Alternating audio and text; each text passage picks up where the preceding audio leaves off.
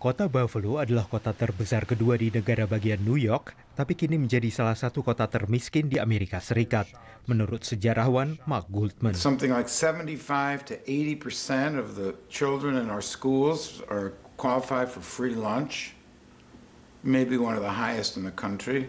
New York City probably is pretty high too, by the way. But this is a national phenomenon. Mark berasal dari kota New York namun sudah tinggal di Buffalo lebih dari 50 tahun.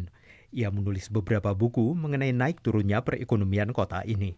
Saat terusan Erie dibuka tahun 1825, Buffalo menjadi jalur perairan dari kota New York ke Great Lakes dan faktor utama pendorong pembangunan dan ekonomi Amerika.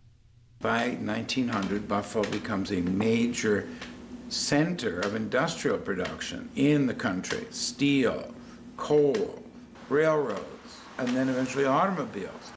Tapi industri mulai menurun drastis tahun 1980-an di kota-kota yang sebelumnya booming termasuk Buffalo. Kini 31 persen lebih penduduk Buffalo hidup di bawah garis kemiskinan, yakni berpenghasilan kurang dari 24 ribu dolar setahun bagi keluarga dengan empat anak. Menurut kurator museum ini, penutupan industri manufaktur sangat berdampak pada warga minoritas di Buffalo. The industries begin to move out and go overseas, they, a, a lot of that left and left uh, high unemployment. And those in the, the uh, minority community were the ones who were really hit the hardest.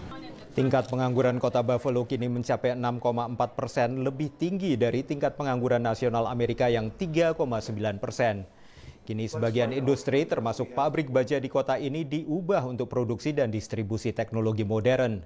Karena itu pengamat optimistis, Buffalo akan pulih kembali dengan membawa harapan, lapangan kerja, serta masa depan yang cerah bagi banyak warganya. Dari Washington, saya Helbi Yohanes dan tim VOA.